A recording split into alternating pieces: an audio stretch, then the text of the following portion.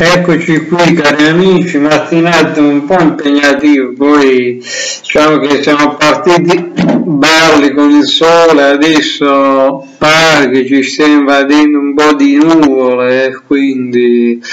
bene, come promesso, come di consueto ogni pre premium live event per view della WWE parliamo nel caso di oggi specifico di WWE Premium Live Event Pay Per View Elimination Chamber 2022 prima edizione in Arabia Saudita e dodicesima annuale proprio dell'omonimo pay per view ovviamente brands di Raw e SmackDown sabato 19 febbraio 2022 allo stadio di Jeddah eh, Arabia Saudita Superdome, credo, nuovo, nuovo stadio costruito recentemente. Se non mi sbaglio qui, eh, non so se è lo stesso stadio della, della Supercoppa spagnola di calcio, non lo so di preciso. Comunque dall'immagine di video copertina vedete il pezzo forte più o meno possiamo dire del pay per view, ovvero la sfida per il titolo WWE nella gabbia d'acciaio dove dovrà difendere al massimo a loro Bobby Lashley contro la bestia The Beast Incarnate Brock Lesnar contro Seth Freaking Rollins Austin Theory Matt Riddle ed AJ Styles si dice in giro che le quotazioni vanno moltissimo a favore della bestia Brock Lesnar e si dice anche i rumors, le voci di una possibile sfida champion vs champion a WrestleMania tra Roman Reigns e Brock Lesnar, staremo a vedere. Comunque per me o rimane campione Bobby o lo diventa Lesnar diciamo, non c'è problema. Poi, prima di passare alla sfida tra Becky Lynch e Lite, che cosa vogliamo dire di questo primo Elimination Chamber dell'Arabia Saudita? Che è proprio in città, a Jeddah, in Arabia Saudita, primo cartellone tutto al femminile, eh, con appunto le immagini di Becky Lynch, Lita, della presentazione della sfida, che è una sfida sicuramente di cartello, però per quanto riguarda il pronostico, ovviamente penso che le quotazioni di Lita sono non basse, però diciamo che i favori del pronostico sono dalla parte di Becky Lynch.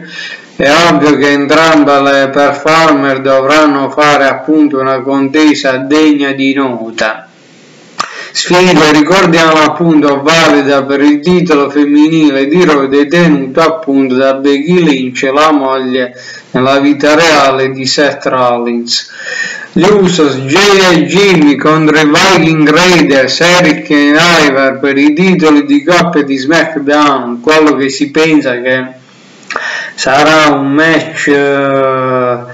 che se la può giocare come pre-show insieme poi ad una sfida annunciata nella notte passata, l'ultima puntata di Raw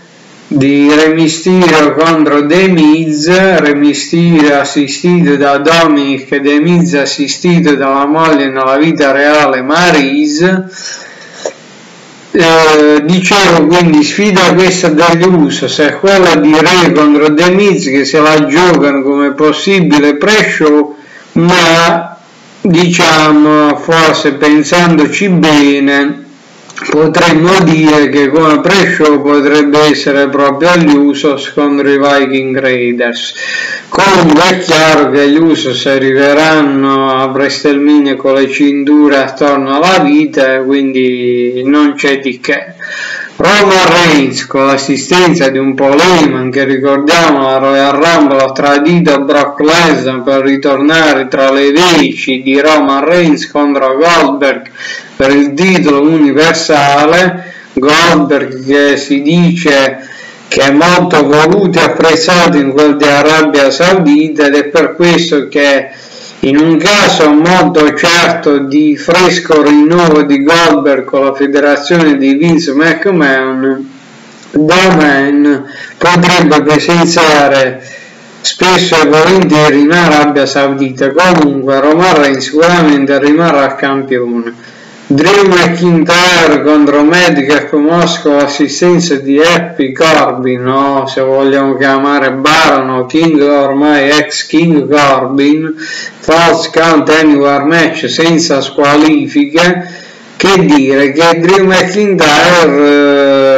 una sfida che almeno si dice in corso d'opera per elevare ancora di più il suo status che dovrebbe portarlo magari